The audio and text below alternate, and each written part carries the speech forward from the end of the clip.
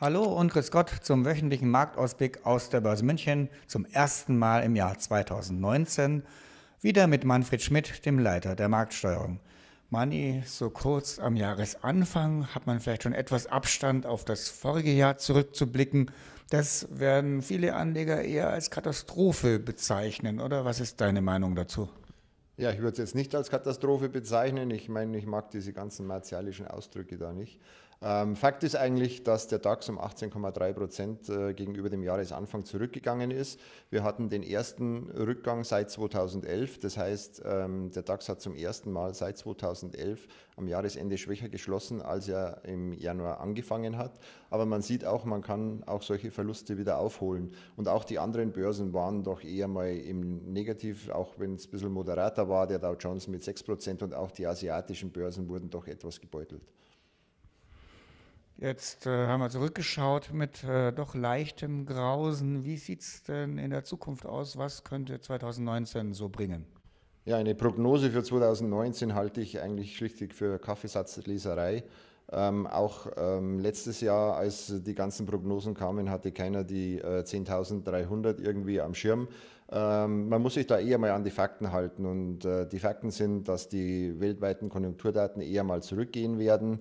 Äh, und ob es in Deutschland zu einer technischen Rezession kommt oder nicht, wird man in den nächsten zwei Quartalen sehen. Technische Rezession heißt, dass wir negative Wachstumszahlen bekommen. Ähm, von der Seite her könnte es vielleicht für 2019 ein schwierigeres Jahr werden. Für mich sind es allerdings eher derzeit Einstiegskurse, äh, denn es gibt auch einige Lichtblicke.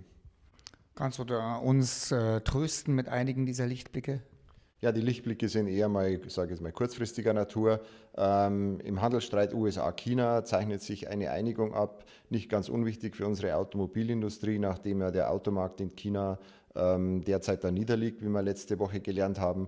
Und auch der Brexit wird sich entscheiden. Hier tickt der Countdown. Es wird irgendwann zum Austritt äh, von Großbritannien kommen oder nicht. Äh, und äh, da darf man gespannt sein, äh, was hier passieren wird. Und die Börse geht ja bekanntlich mit Tatsachen besser um als mit irgendwelchen Spekulationen oder ähm, Prognosen.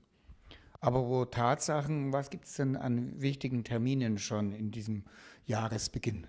Ja, da können wir gleich in äh, Großbritannien bleiben. Ähm, nächste Woche kommt das Bruttoinlandsprodukt aus Großbritannien und vielleicht noch viel wichtiger, wir haben endlich mal jetzt dann die Abstimmung über den Brexit-Plan von Frau May. Da darf man also gespannt sein, was da im äh, englischen Parlament passieren wird. Und an Quartalszahlen schaut es eigentlich noch eher dünn aus. Wir haben äh, nächste Woche Citicorp und JP Morgan, die Quartalszahlen bringen werden. Anni, vielen Dank für diese Ein- und Aussichten und Rücksichten auch auf das vergangene Jahr. Vielen Dank fürs Reinschauen. Wir wissen nur mit absoluter Sicherheit, in München ist es gerade ziemlich schneereich und rutschig. Man kommt eher mit Langlaufschienen als mit dem Radl in die Arbeit. Wir wünschen Ihnen trotzdem eine trittsichere Woche und viel Erfolg beim Handeln. Bis zum nächsten Mal.